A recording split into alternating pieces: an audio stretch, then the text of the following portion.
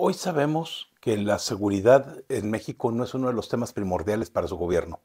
Andrés Manuel López Obrador y su camarilla de indolentes secuaces han dejado muy en claro que la realidad que viven millones de mexicanos no les interesa, que ellos solamente están ahí para ganar elecciones y seguir construyendo un gobierno utópico que no trae ningún beneficio a nadie. México tiene un 30% de su territorio gobernado por organizaciones criminales que, rompiendo todas las leyes del país, actúan en contra de los ciudadanos que han decidido permanecer del lado de la legalidad, y, y luchar por una mejor existencia. Mexicanos que han logrado sobreponerse a las vicisitudes de la vida y a las malas decisiones de este gobierno. La política de abrazos y no balazos ha traído como consecuencia el que las bandas criminales se sientan seguras y apoyadas por el sistema político que busca reflectores para promocionar a sus actores más visibles, mientras que las condiciones de vida cada vez son peores y cada vez nos cuestan más. Si hemos puesto atención en los últimos días, hemos escuchado que muchos candidatos a algún puesto han sido asesinados.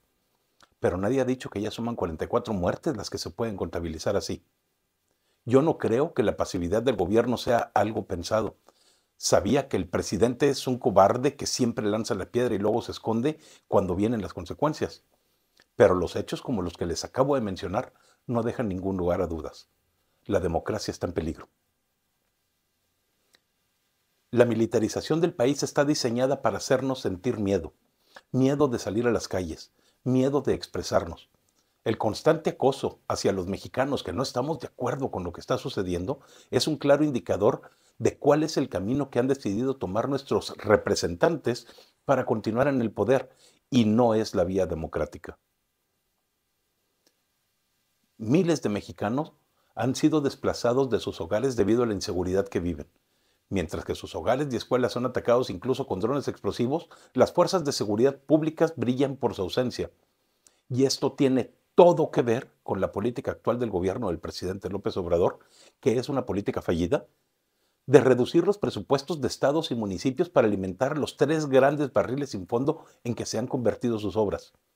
Mientras que el tren Maya, la refinería y el aeropuerto aumentan sus costos antes de comenzar a trabajar, el presupuesto para el resto de la nación es un 60% más bajo que hace cinco años, sin considerar el incremento de los precios de los productos, servicios y bienes causado por una inflación descontrolada.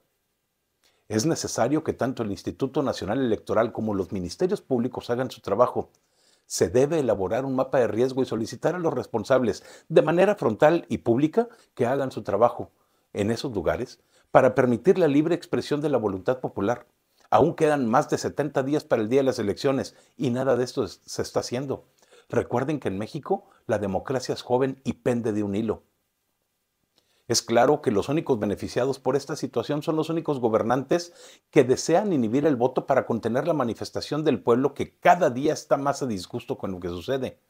A nadie más conviene permitir la libre actividad criminal más que a quienes tienen todos los recursos a su disposición para controlar las instituciones de gobierno e instituciones supuestamente independientes y libres que en teoría garantizan nuestro voto, pero que en la práctica se han convertido, desgraciadamente, en un brazo ejecutor del actual presidente de la República, que no esconde sus deseos y es capaz de romper las leyes establecidas para continuar con el beneficio de un fuero de facto que ya no será legal y permanecer impune ante sus desmanes y tropelías cometidos desde la presidencia de la República.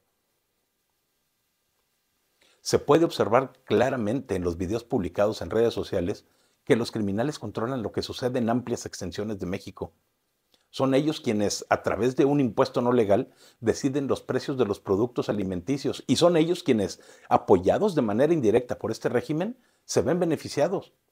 No son los productores ni los comerciantes quienes obtienen o lucran con los productos.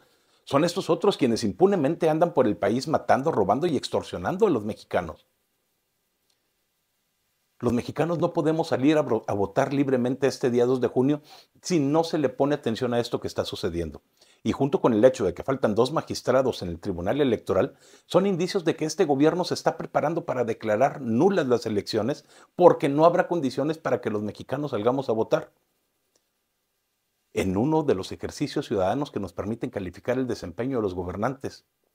el único, el único ejercicio que nos permite hacerlo. Y los que tenemos actualmente no nos gustan y tampoco gustan de ser calificados negativamente. La tragedia de Veracruz, en donde un par de personas pudieron tirar en la calle partes de un cuerpo humano mientras disparaban al aire, deja en claro que en muchos lugares no son nuestros gobernantes electos quienes gobiernan, tampoco las libres andanzas de camionetas llenas de gentes armadas que transitan libremente frente a elementos del Ejército Nacional, menos las noticias de la leva llevada a cabo por cárteles de la droga en Chiapas. Los pobladores de Guerrero han tenido que dar, armas a los niños de 12 años para organizar una especie de defensa del pueblo, mientras que sus gobernantes no son capaces de reconocer que la seguridad de México está cada vez peor. Nos quieren engañar con gráficas que presentan datos falsos sobre las cantidades de muertes al clasificar los asesinatos bajo otro nombre, otro título, y asumiendo que no somos capaces de leer una gráfica ni lo que ésta representa. Los mexicanos sufren por las condiciones de inseguridad en el país, pero también por el abandono en el que los tiene sumido su gobierno. En este sexenio, más de 30 millones de mexicanos dejaron de tener acceso a un sistema de salud debido a las decisiones del presidente. 30 millones y aún así se hacen llamar el gobierno más humanista? Millones de niños y jóvenes desertaron de la escuela para ir a hacer sabrá Dios qué, en quién sabe dónde, pero mientras tanto los índices delictivos aumentan en todos lados. No hay un solo argumento que pueda servir para justificar las acciones de este gobierno. Andrés Manuel López Obrador es el causante de muchas de las desgracias de los mexicanos y él mismo ha repetido en varias ocasiones que no piensa cambiar su forma de gobernar porque él no cree que sea lo adecuado. Pero la información nos dice exactamente lo contrario. La información que proviene de este mismo gobierno nos dice que el país va mal y que los mexicanos tienen cada vez peores condiciones de vida. Algo que no se puede ocultar más que en los informes de las mañaneras y en las gráficas que a discreción reparten los oficialistas. Prácticamente estamos solos. Si los mexicanos realmente queremos tener mejores oportunidades, es imprescindible que salgamos a votar en masa, que salgamos a votar todos y que hagamos valer nuestros derechos ante un gobierno que no está dispuesto a ceder nada en su postura, de no dejarnos expresar nuestra voluntad y que ni siquiera es capaz de garantizar nuestra seguridad mientras lo hacemos. No podemos permitirnos sentir miedo en estas elecciones. Si no salimos a votar, no habrá un futuro para México. Te están repitiendo constantemente y hasta el cansancio que siempre hay otros datos, que la oposición busca hacer trampa, que las instituciones están vendidas. Las mismas instituciones que en otros tiempos les dieron el triunfo. Pero en la realidad no hay una sola prueba de eso. Solamente los comentarios de gobernantes fallidos que jamás han sido capaces de reconocer una derrota en las urnas, ni cuando eran oposición, y menos ahora que son gobierno.